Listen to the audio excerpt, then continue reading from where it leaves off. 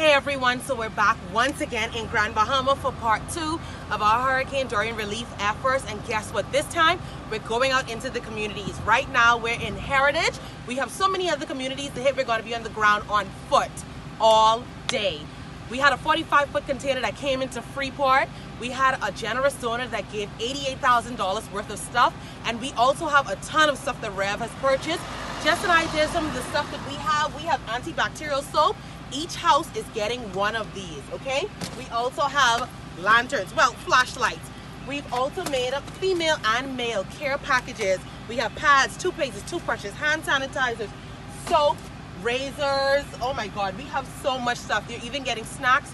We have stuff for the kids. But at the end of the day, we wanted to make sure that Freeport is good after Rev leaves, you know? We came here last time. We wanted to feed the people, but this time we want to go on foot into the communities and actually, you know, interact. Make sure everybody is good.